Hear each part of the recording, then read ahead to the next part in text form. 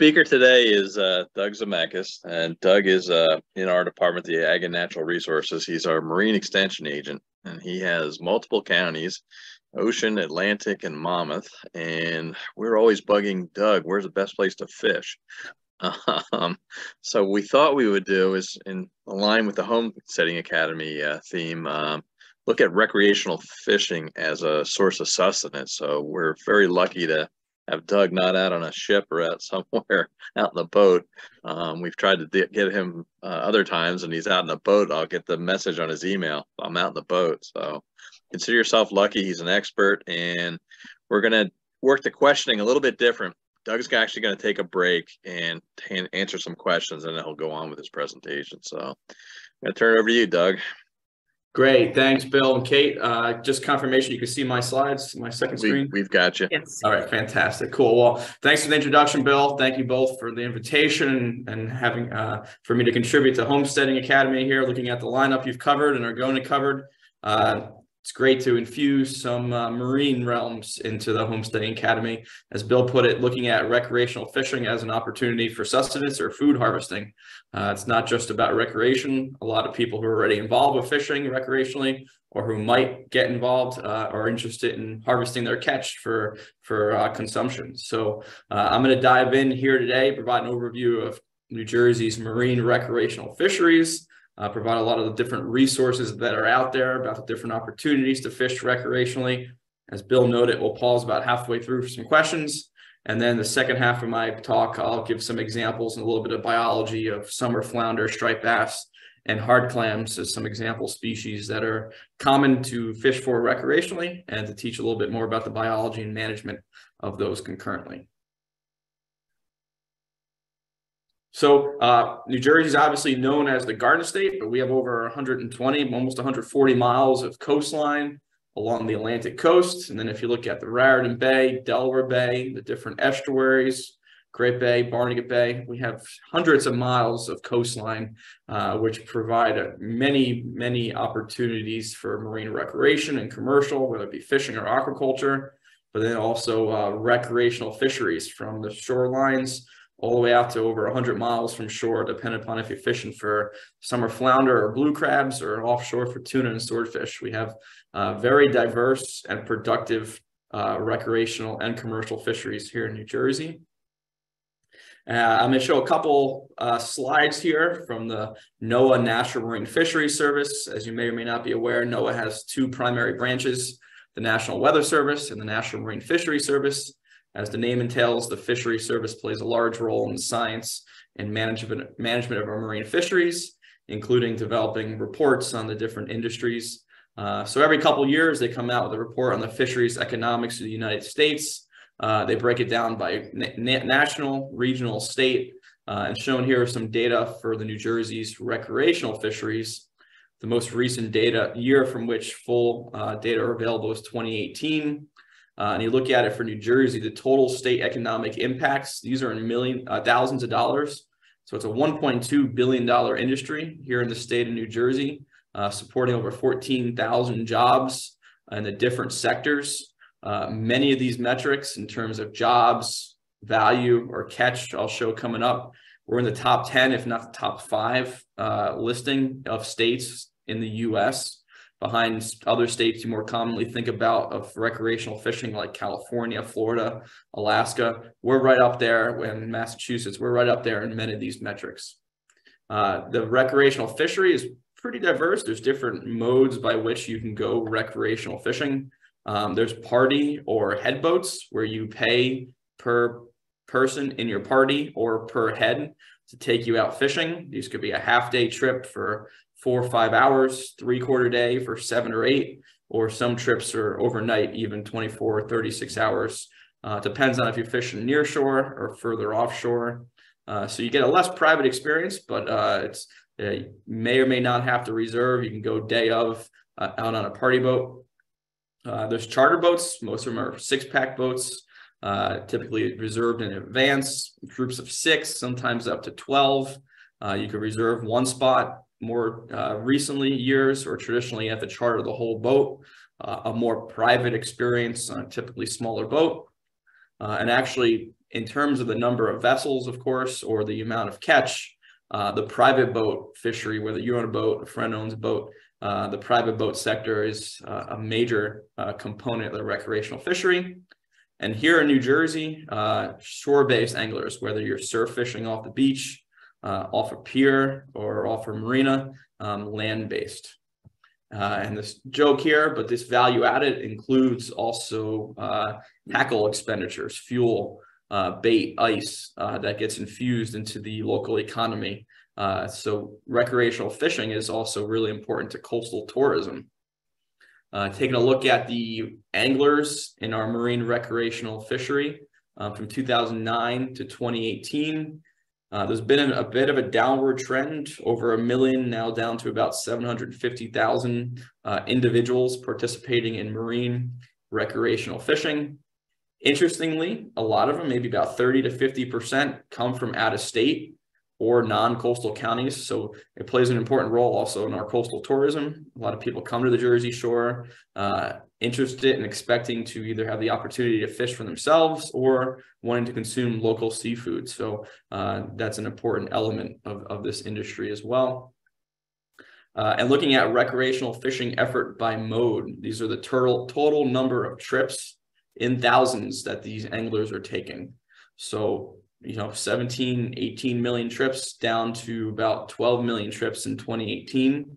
Uh, and a, almost half, almost or more than half of these are actually shore-based anglers fishing off the shore or piers as they might exist throughout the state. Uh, and then you see the for hire, so that's the party charter boat industry, and you have the private boat sector, which is, as I noted, a major contributor in terms of the number of trips, but also the overall catch rates. Uh, so this large table here, we can dive in if people are interested in any particular species, but what this is showing is the most commonly caught species, not necessarily the most valuable or often the most valuable, but most common in terms of numbers that are harvested and released. So by numbers, the most common are summer flounder, bluefish, sea bass, striped bass, and blackfish or tautog. Uh, and you get an idea like summer flounder is by far the most uh, popular in terms of the numbers landed and thrown back and the number of anglers targeting them. For example, if you look at 2018, about uh, 1 million fish were actually harvested and brought home by recreational anglers, but over 10, uh, over 10 million fish are caught and released. Uh, you see that as pretty common with striped bass included, even bluefish, sea bass, uh, due to management measures, uh, minimum sizes, close seasons, possession limits, a lot of fish are actually caught and released in recreational fisheries. And it could also be the conservation ethics amongst the anglers who might prefer catch and release. Uh, but a large segment of the industry, and when available within the regulations, uh, there's interest in not only catch and release, but harvesting for consumption, uh, relevant here to the Homesteading Academy as opportunities for uh, harvesting your own seafood here through our recreational fisheries. In fact, you know, I, I spend my time all really in the marine realm, fisheries and aquaculture, marine resource issues, but obviously Homestay Academy and our Department of Ag and Natural Resources, uh, drawing some parallels. Um, marine recreational fishing could be likened in some ways to uh, agritourism. To show before, a lot of folks come to the coast uh, to fish or to, you know, arguably to consume local seafood.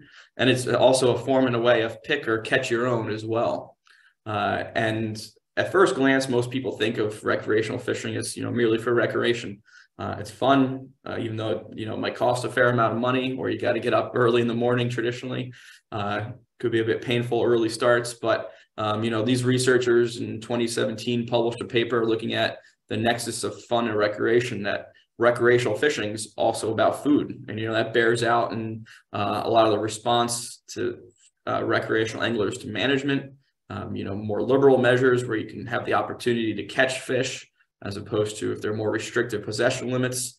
Uh, in many cases, you know, lead, could lead to more fishing effort, um, showing, you know, there's motivation there that, you know, you see myself here on a charter, you know, uh, bringing home black sea bass and a striped bass are a large part of the uh, motives uh, in recreational fishing.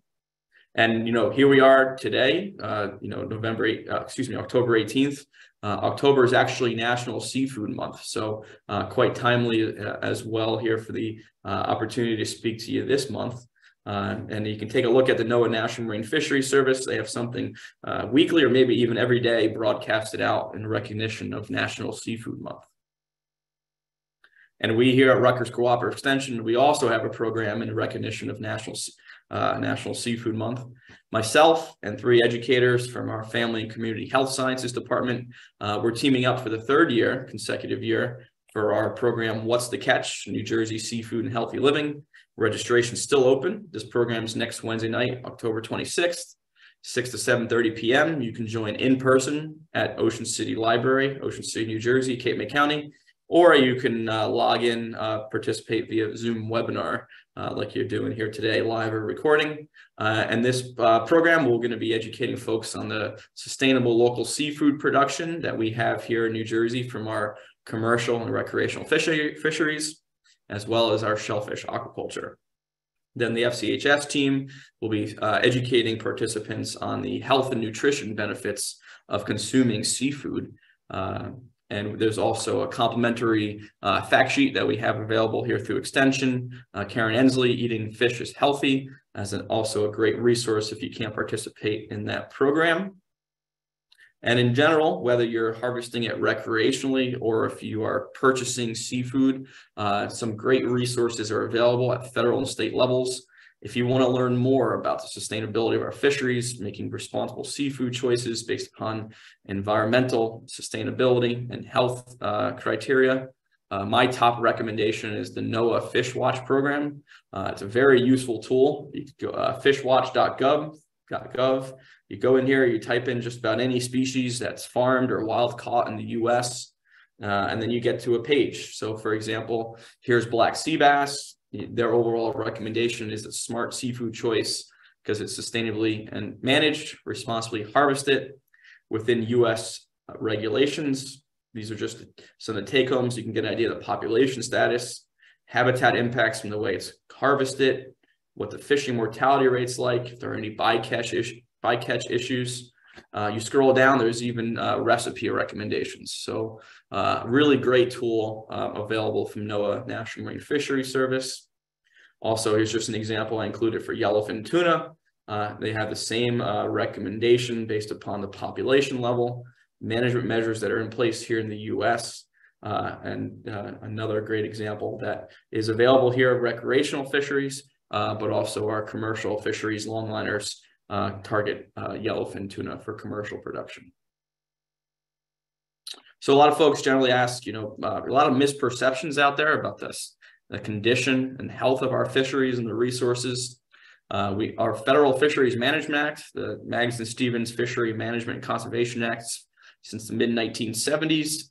Um, that federal fisheries management policy and a lot of fishery management being in place here in New Jersey since the early to mid 90s has been arguably quite successful in meeting biological objectives. We still have a lot of work to do in the social and economic realms, but biologically, uh, it's been doing quite well. You can uh, take a look at the status of the stocks at the national level.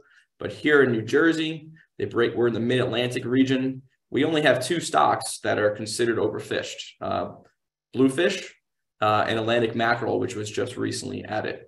Uh, otherwise else, you know, we have really overall biomass wise, quite healthy stocks.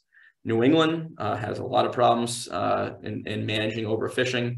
Some of those stocks we used to have down here, like winter flounder, Atlantic cod.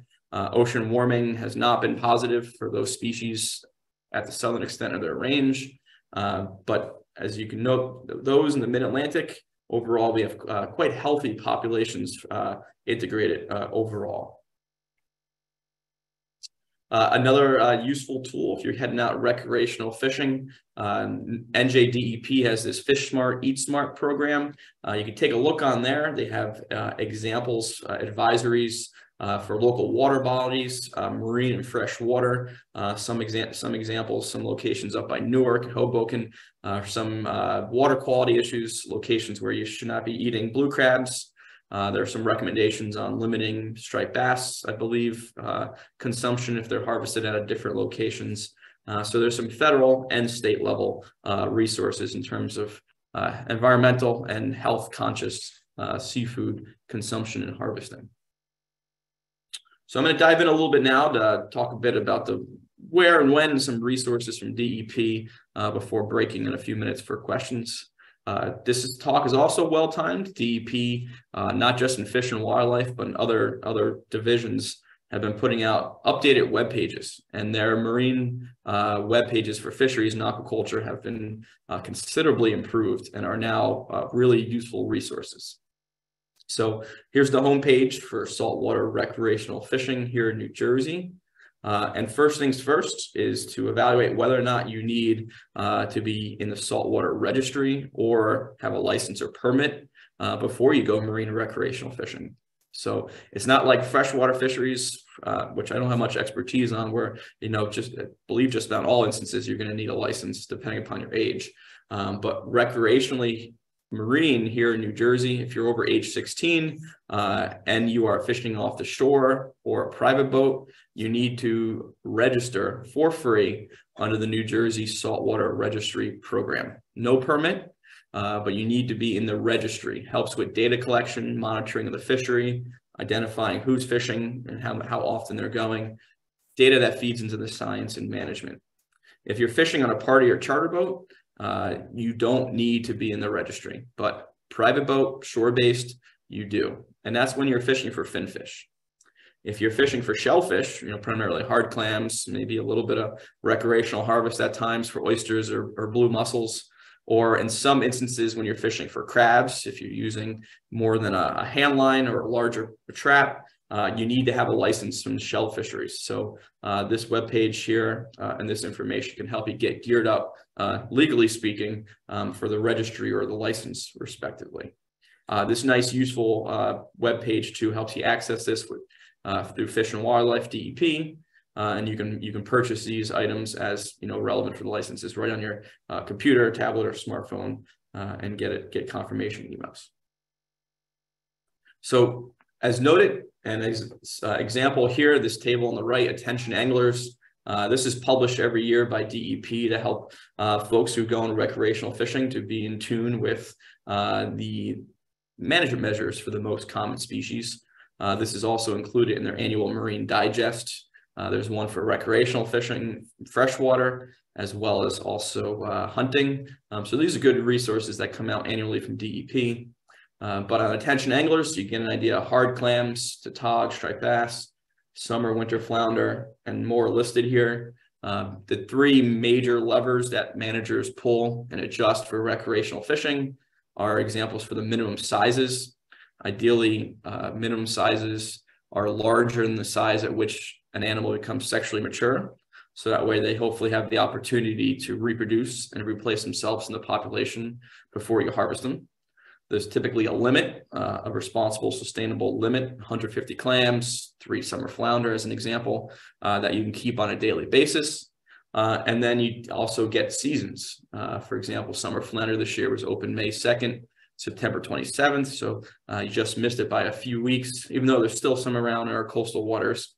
Uh, the season wraps up lately at the end of September.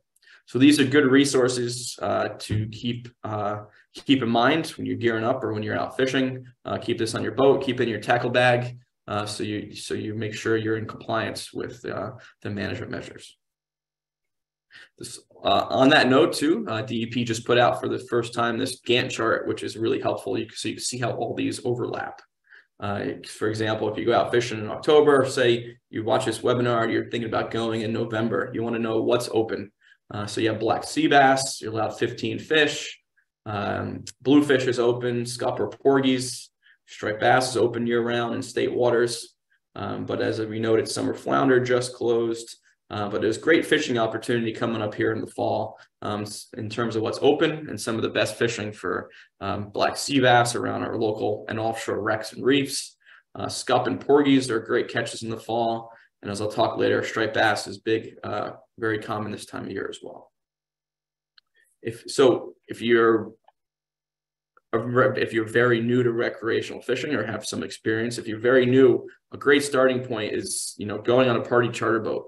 Uh, a lot of us, myself included, a lot of folks who even work on commercial fishing boats uh, they've gotten their starts on party and charter boats. It's a good place to learn, get exposed, see what other anglers are doing, see what the captains and mates recommend, fish different boats, different fisheries, get an idea what you're interested in. So that's a great starting point. You can go to this this DEP website, uh, the homepage I showed earlier here, get an idea of where the party and charter boats are, whether it be down in Cape May, there's some in Ocean City, only one left in Barnegat Light.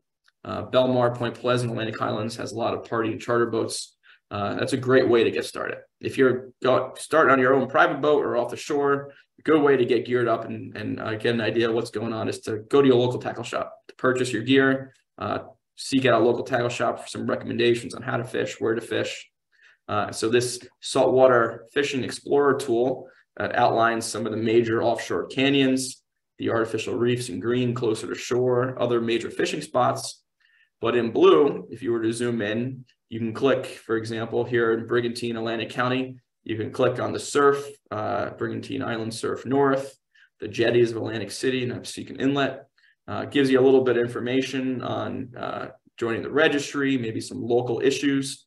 And some of these other blue spots are some tackle, tackle shops. So that can help you find a local tackle shop, uh, which are great places for uh, resources and information to help you help you get started. So that's what I have for the first half, Kate. I'm happy to pause now and see if they have any, or Bill, and see if they have any questions. I'll, I'll start you off, I guess, as we wait. Um, with the, uh, you know, they talk about the the water temperature increasing in the ocean. What kind of um, changes are we seeing, like in the species or the migration patterns on the Jersey Shore? Yeah, great question, Bill. I have something coming up related to summer flounder, but I'll, I'll set the, the, the course here. Um, with ocean warming related to climate change, uh, we've seen many of our species shift their distribution uh, further east, so further offshore, further north, in many instances also out to deeper water. Um, this is uh, in response a lot in times to uh, warming temperatures, but also there's been some shifts in predator prey. So their prey might have shifted.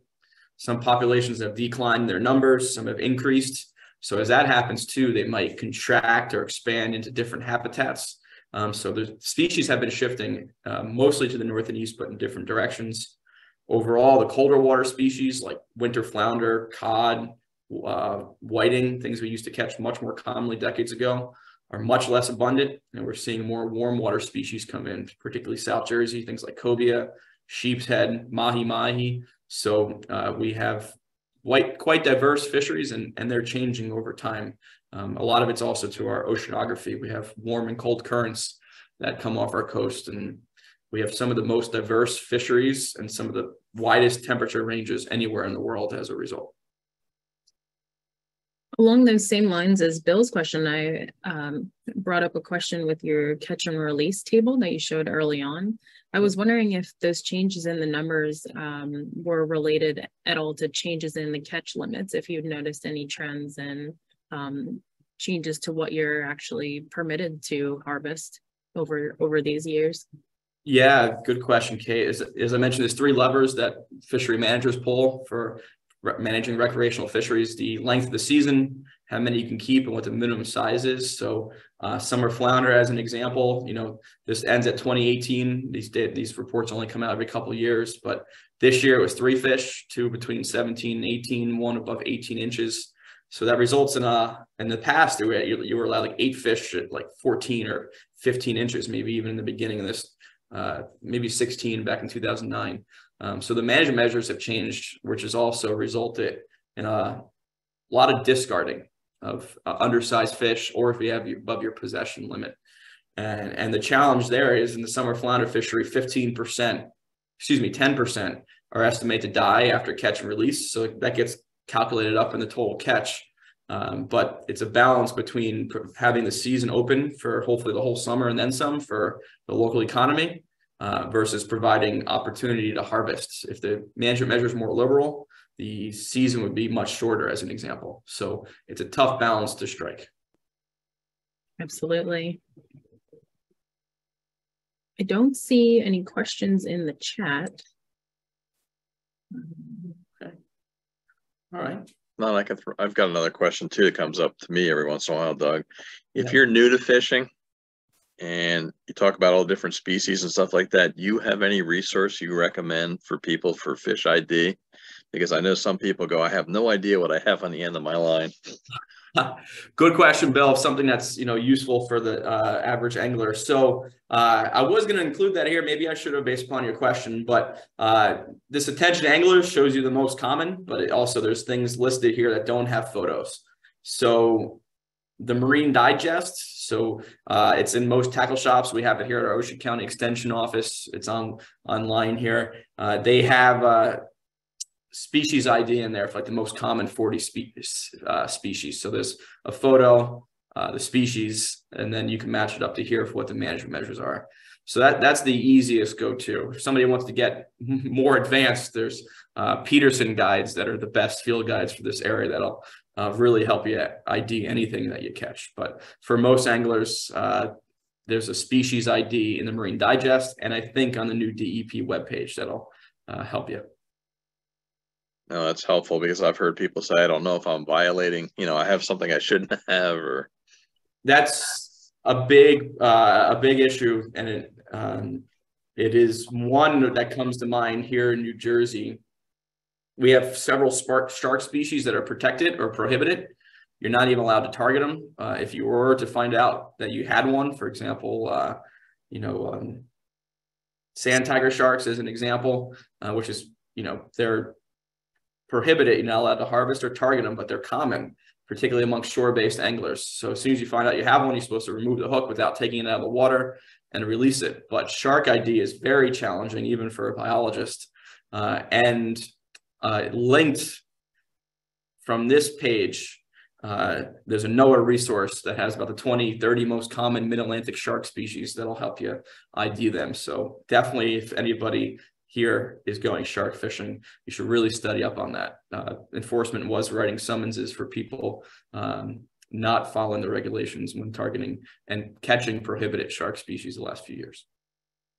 Sounds like a great idea to get out on one of those party boats or, uh, you know, with another experienced fisher. Um, and before you try to go out on your own. Yes. And that, uh, it is I, I hear it is quite accurate. I've looked at it a few times. I didn't find any errors, but the state is, you know, a very useful resource here for the management measures. There's another app, phone app.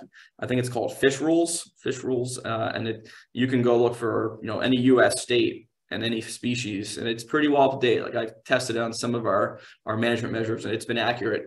Uh, so there's also a phone app. I think it's Fish Rules, so folks can have that. Uh, helpful too if you fish between different states, which is actually not too uncommon. People in Delaware Bay will be on the Jersey or Delaware side.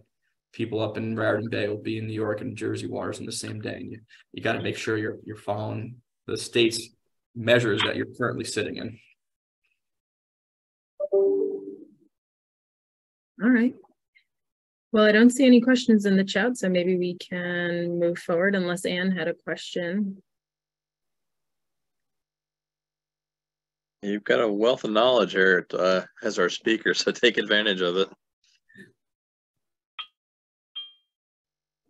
I see her unmuted, but I don't know if she has anything. Yeah, Anne, we're not able to hear you if you're trying to ask a question. Um, okay, I think we can move forward. All right. Should I continue? Go for it. All right, cool. Hopefully folks found that to be an interesting primer there, different components of our recreational fishery, where to find different information based upon your per what might be needed in terms of registry or permit, uh, where to go fishing, the different modes, part of your charter for the for hire, shore-based, uh, private boat. Uh, we have uh, obviously a lot of different opportunities. The Gantt chart showed you what's open different times of the year. Uh, so uh, this fall is a great opportunity for a lot of different fisheries. Although I'm now going to dive a bit more to provide into some of the more common summer flounder, striped bass, uh, but then also hard clams. So some different types of recreational fishing opportunities. So before summer flounder closed uh, a couple weeks ago at the end of September, but uh, it is our most common in terms of the number of anglers and probably we don't have great economics data, but it's probably most important economically for our recreational fisheries as well. So the summer flounder resource, although you know, Rutgers Extension, we're focusing on New Jersey. Uh, many of the folks this program is hosted out of Burlington County, but we have our coastal counties. Uh, the summer flounder population is actually managed from North Carolina to Maine. Uh, and there's different migratory patterns, there's different groups.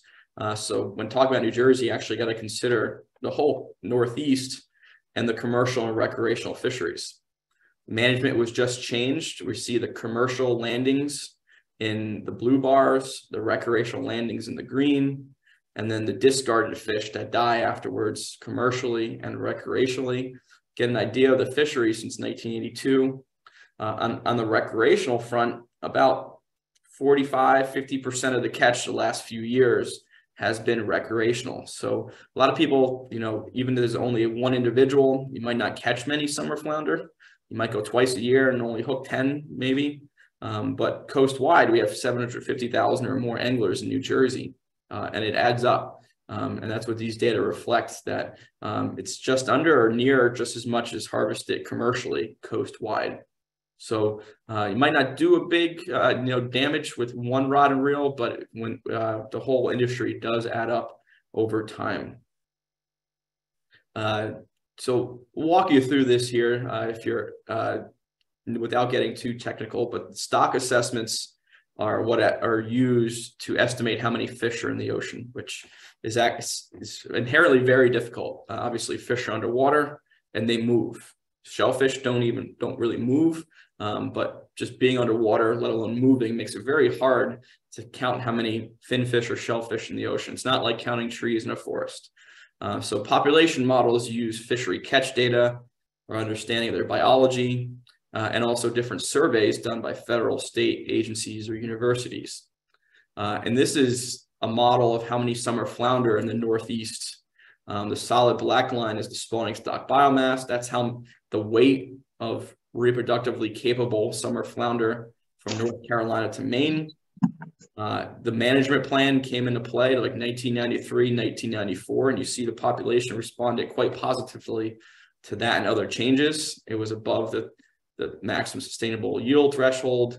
So the stock was not, and even half that rate, the stock's not considered overfished, but there's been a decline in the last, you know, 10, 15 years, a little bit of an uptick around 2019.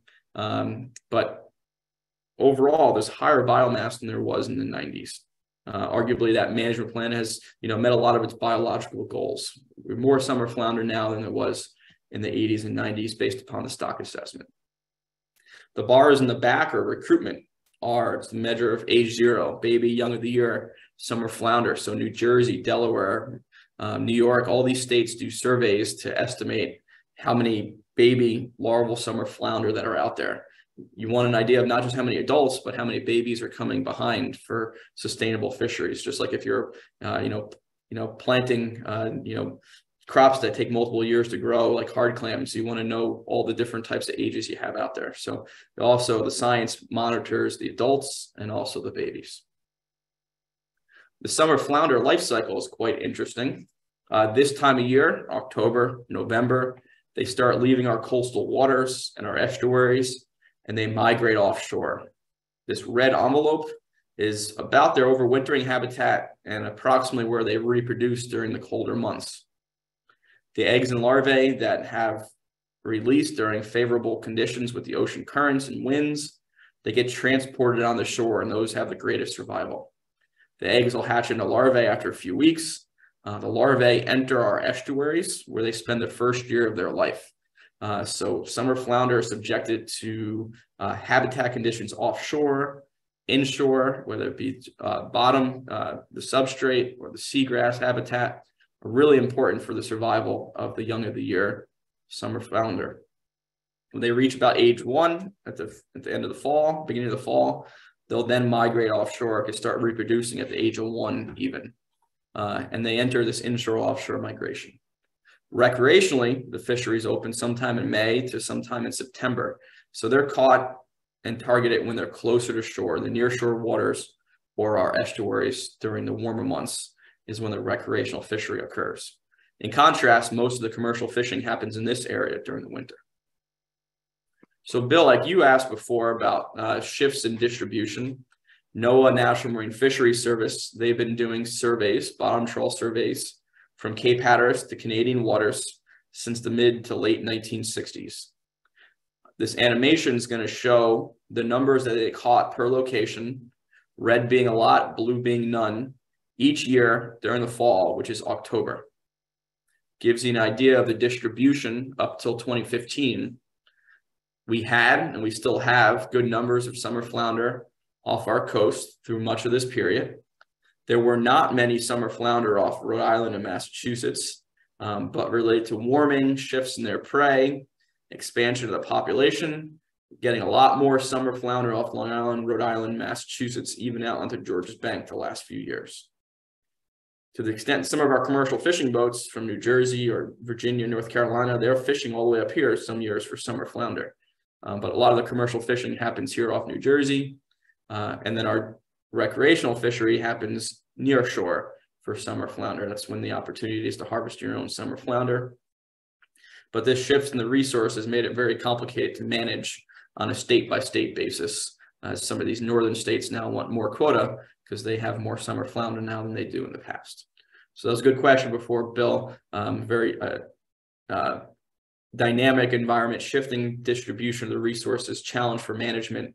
We at Rutgers have this Ocean Adapt tool that you can check out. You can type in all kinds of different species in there and see how their distribution has shifted over the last several decades as well.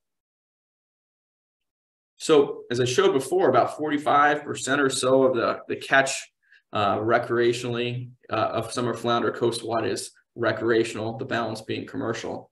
Uh, and looking at this table for New Jersey, uh, we have a large role and large allocation of the summer flounder quota. Uh, 2018, 19, 20, it's 40 something, 57% of the catch came from New Jersey in 2020 take a take a look at the overall harvest in millions of fish or pounds recreationally in all the Northeast. Apply those percentages. In 2019, we had almost 3.6 million pounds of summer flounder harvested recreationally. So if you're thinking about food production from recreational fishing, that's a lot of food production and a lot of opportunity, even though the limit's only three per person per day. Um, on the state level, that's a lot of grams of protein and that's a lot of food being picked or caught for your own and your family consumption. Uh, so a, a, great opportunity and a lot of food production here in New Jersey just from uh, summer flounder fishing alone. So that's all I was going to show tonight. Happy to talk more about summer flounder if folks want in the future. Um, but as a note, at the season just just ended at the end of September. Um, for most of the state, it's three fish, excuse me, uh, two fish at 17 inches to 18. That's called that a slot limit. The idea is to try to reduce the pressure in the large adult females. Uh, and then you're allowed one fish above 18 inches. Uh, and there's some different management measures if you're in Island Beach State Park or down in Delaware Bay uh, to help provide some other fishing opportunities. But uh, you can take a look at DEP's webpage for the latest on the, on the management measures for summer flounder. We don't know them yet for next year. They won't come out until you know sometime in the winter or even early spring uh, for next year. Other species I want to give a, a you know a crash course, a 10,000 foot view over uh, the very popular striped bass. Um, so striped bass, the what's known as the Atlantic migratory stock, uh, they range from uh, North Carolina all the way up to Maine, uh, and they're quite mobile. Um, some of the uh, actually, I'll use this one for that. So uh, there's three major spawning areas for striped bass. Uh, the major one in the last decade or more has been the Chesapeake Bay. The Delaware Bay and Delaware River historically was much more productive than it has been in the last decade or two um, for spawning of striped bass. Uh, Hudson River is the number two, uh, arguably behind the Chesapeake. So striped bass are what are known as anadromous. The adults, they'll spend their life out in the estuaries or out at sea, and they'll return to these estuaries to spawn uh, during the spring. So these large migratory pathways, so say a striped bass in the Delaware River, will after finish spawning, come out in the spring. Um, some some of them are residents and they'll actually stay locally, um, but the, by the majority are migratory. They might head up uh, during the summer to southern New England, Massachusetts, all the way to Maine, and then when chasing their prey and cooler, what are relatively cooler temperatures, and they migrate back down during the fall. uh, and winter uh, and get ready to spawn again in the spring. So this migratory cycle, um, the best striped bass fishing off New Jersey tends to be in the spring, uh, April, May, June, and now during the fall when they come back, October, November, and even December. Some years you'll catch them well even in January. So that uh, that provides the greatest recreational fishing opportunity uh, here in New Jersey, spring and fall. As I noted, there are some residents. So if you if you get in tune with your local water bodies and some of the different creeks and rivers, um, there are some striped bass around even during the warmest months. Uh, they're a bit harder to catch, but spring and fall, the prime times. We don't have a commercial fishery in New Jersey. It's all recreational. Uh, and the commercial quota actually goes back to the recreational sector here in New Jersey. So very important recreational species. Uh, the minimum size in current times, you're allowed one fish between 28 and 38 inches. What this is showing is an age length key. So uh, these diamonds are the average. So a 28 eight inch fish on average is about eight years old. Um, so they take longer to reach the minimum size. Uh, 38 inch fish on average is about, you know, 13 years or so. Um, so pretty large adult fish, um, relatively old. I mean, uh, you need to be about eight years old to grow to 28 inches. Um, they're highly fecund or the fecundity, they produce a lot of eggs. Uh, the larger females do produce more eggs. 40 inch females, you know, maybe about 2 million eggs. So uh, they're often called BOFs, big old fat fecund female fish. Um, so larger females produce more eggs that are larger have greater hatching success and greater survival. So a variety of management measures, including striped bass, where you can't keep them above 38 inches. The idea is to let the large females reproduce as many times as possible to get that egg production out there, which is thought to help uh, with the recruitment and the long-term sustainability. So that way recreational anglers here in New Jersey can enjoy for catch and release and harvest striped bass for many years to come. There was a moratorium on striped bass in the 70s, 80s. Uh, this is um, showing a similar type of information, just different, tailored to striped bass, as I showed before for um, summer flounder. But the blue mountain in the back corresponds to the left axis. So that's the spawning stock biomass, the weight of females in the population. Uh, again, the moratorium and some more strict management measures. Uh, well, moratorium, you can't get much more strict than that um, prohibited harvest, but the population responded well in the late 80s, 90s, uh, was above the threshold. Uh, stock wasn't considered overfished, but if you've been following the measures, you were allowed to keep two fish uh, for several years. Now you only allow one fish. The population, depending upon where your eye grabs, around maybe 2002 or three even, has been trending downward. Uh, the last population assessment went through 2017 or 18, still waiting for an update, but um, new management measures were put in place the last few years to try to correct this, right this trend, and try to rebuild the striped bass population, get it above these thresholds. Um, that's why there's been some more strict management measures. Um, so if you're going out recreational fishing and you're fishing in state waters, uh, estuaries out to three miles, you're allowed one fish, 28 to 38 inches, and it's open year round. Uh, if you are fishing with live uh, bait, you need to actually use a circle hook. Um, circle hooks are designed to more often uh, thought to catch the fish in the lip, reduce how frequently it might swallow the bait in the hook, and therefore possibly increase the mortality rate after you catch and release them. If you're in the Delaware River and the tributaries, uh, there's some different management measures that you have to be in tune with. Um, again, that's all included in the in the table from attention anglers.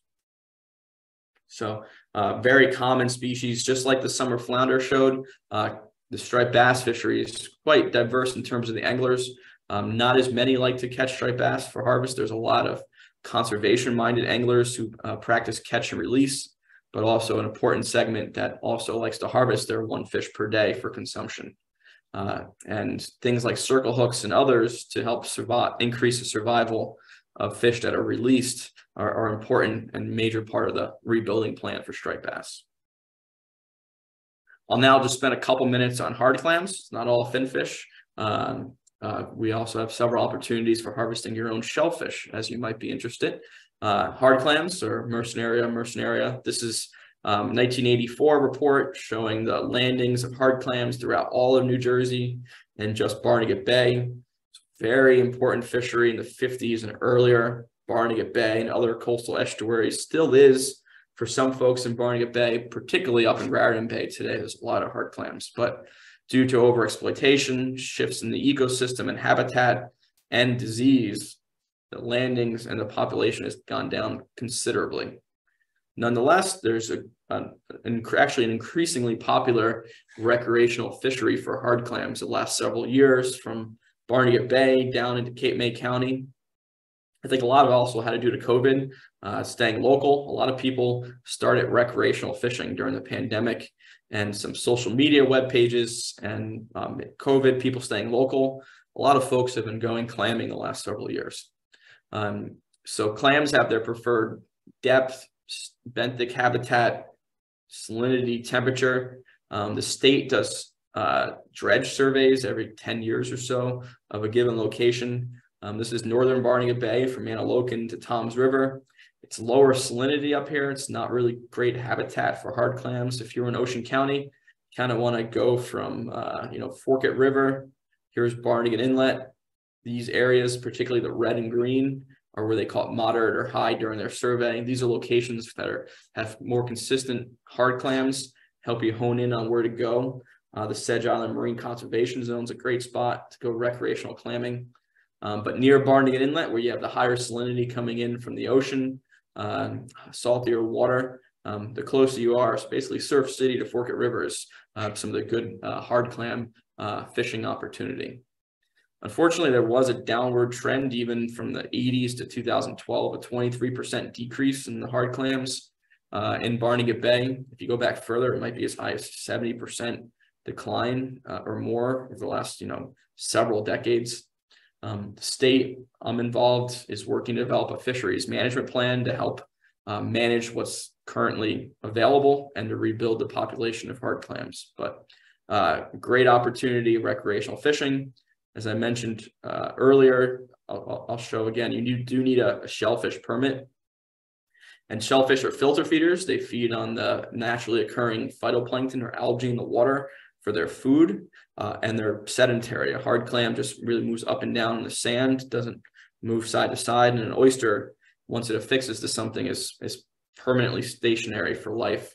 Uh, so they're also through filter feeding, they're vulnerable to taking in uh, contaminants that might be in the water. The Bureau of Marine Water Monitoring and others, they have shellfish growing water classifications. Here's an example of Toms River. Um, so areas in blue are approved. You can harvest year round. Conditionally approved purple, yellow areas are locations where you can harvest during the colder months. Uh, if there are any bacteria or other pathogens in the water, they don't proliferate as much uh, beyond safe consumption rates during the colder months, uh, but will do so potentially during the warmer months of the summer. So if you're going recreational clamming, you also want to take a look at where you're going and make sure it's open based upon water quality.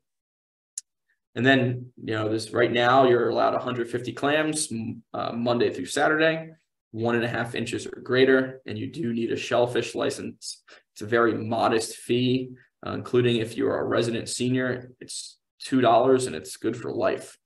Uh, the most common way is, you know, hand or feet apparatuses to catch hard clams, rakes. Some people just swim and grab them with your hand, or you can shred them and feel them with your feet, or use some other type of uh, uh, poking device to find them in the sediment. They're usually like in the summer, the warmer months, they're, you know, maybe just, you know, an inch to three inches down, uh, relatively easy to harvest and feel. Uh, and they get a bit deeper during the warmer when they uh, go into a more dormant stage. But a great opportunity also to harvest your own seafood. Uh, and then, as I noted, increasingly popular actually in the last several years.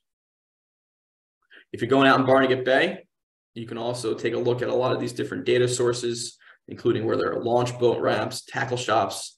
DEP has the Barnegat Bay boater web application.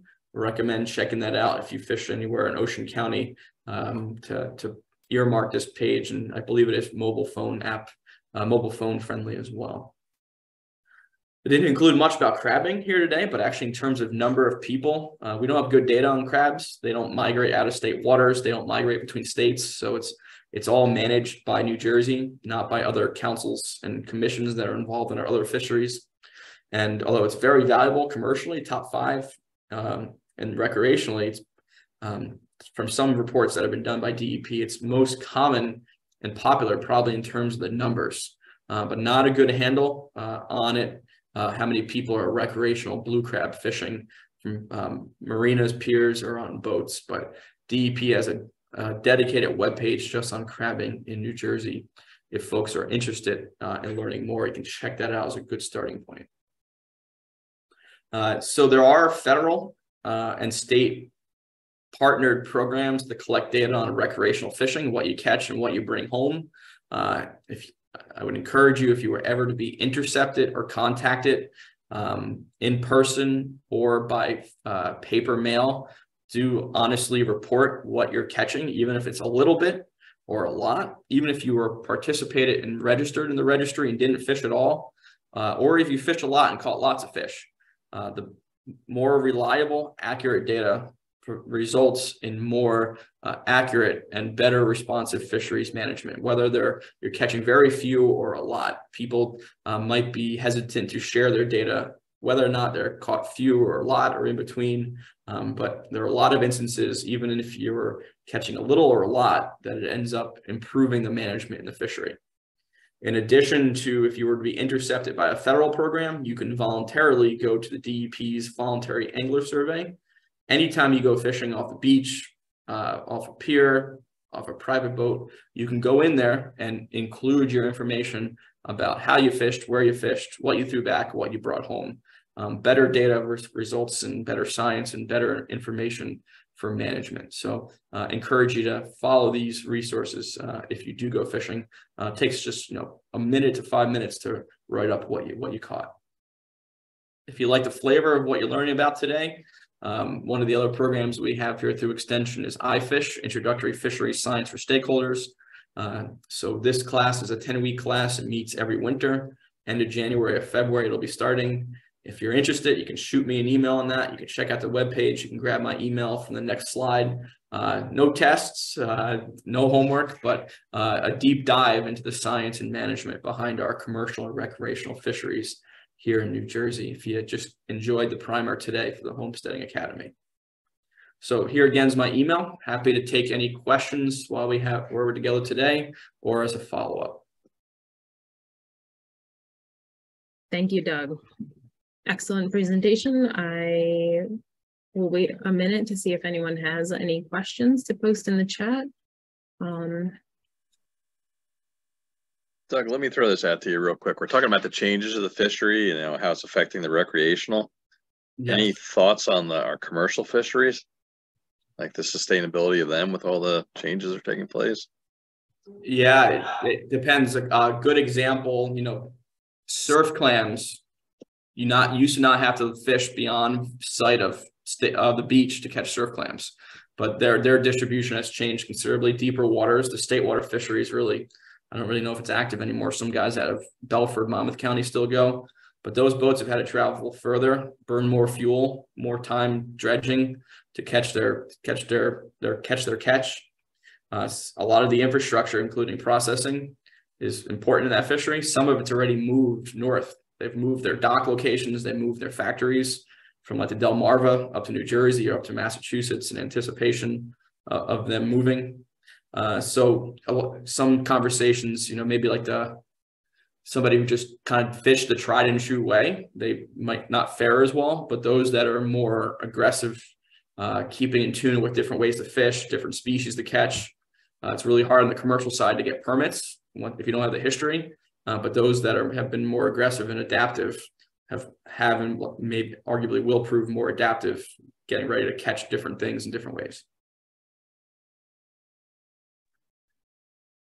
And just a plug, anybody I know who's been through your iFish really enjoyed it. So it's a really good program if anybody's on here is interested in it. Thank you, Bill.